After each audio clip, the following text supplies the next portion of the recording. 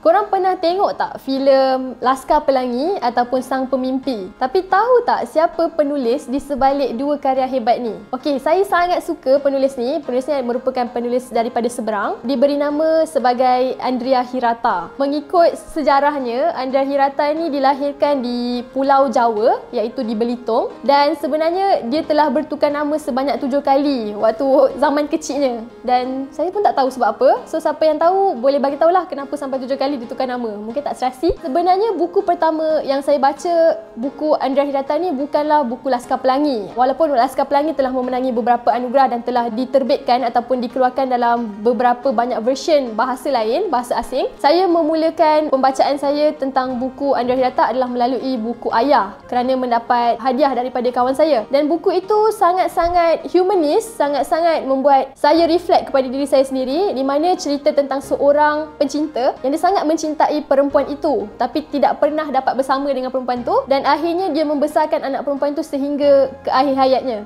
Bagi saya, dalam setiap karya Andrea Hirata, dia mengajarkan tentang bagaimana kita perlu bertolak ansur sesama manusia. Antara buku Andrea Hirata yang telah saya baca, contohnya Ayah, Laskar Pelangi, Sang Pemimpi, Sirkus Pokok dan juga sekarang saya sedang membaca Cikgu Aini. Apa yang saya dapat dari pembacaan buku-buku Andrea Hirata, saya dapati personality beliau ni agak misterius sebab dia bercerita tentang kebanyakannya tentang hal-hal childhood dia sahaja dan dia tak menceritakan hal-hal dia ketika dewasa. Walaupun telah mendapat pengiktirafan antarabangsa, Andrea Hirata telah pulang semula ke kampungnya untuk membina sekolah. Dia tak sekadar cakap yang mana dia rasakan pendidikan itu untuk semua dan dia datang semula ke Belitung untuk mewujudkan sekolah kepada anak-anak Belitung untuk mendapatkan pendidikan yang lebih baik. Bagi saya yang tidak bertutur dalam bahasa Indonesia sekalipun, bagi saya ayat-ayat yang disusun ataupun yang digunakan oleh Andrea Hirata sangat senang difahami dan ada few je words yang saya perlu cari di kamus-kamus ataupun melalui online Google. Contohnya macam pabrik. Dulu saya tak tahu pabrik tu apa. Rupanya pabrik adalah kilang. Dan ayat-ayat yang digunakan sangat dekat dan saya rasa golongan-golongan pelajar daripada sekolah rendah sehingga ke alam dewasa boleh membaca karya-karya Andrea Hirata. Setakat 5 ke 6 buku yang saya baca berkaitan karya beliau, saya suka plot dia sebab dia akan sentiasa reflect kepada semua watak yang dia cuba sampaikan. Bagi saya, karakter dia development dalam buku yang ditulis oleh Andrea Hirata sangat cantik, sangat bagus dan dia sangat menekankan tentang hubungan baik sama manusia dan juga tentang setia kawan. Okey, secara konklusinya, penulisan memang boleh membuatkan kita membuka mata kita tentang sesuatu perkara. Contohnya saya tak pernah ke Belitung dan saya tak pernah tahu keadaan di sana tapi melalui pembacaan kita tahu apa yang terjadi dekat sana dan daripada karya-karya yang sangat humanis kita belajar untuk reflect diri kita sendiri dan kita belajar sebenarnya banyak lagi orang yang tidak dapat dapat apa yang kita dapat selama ni.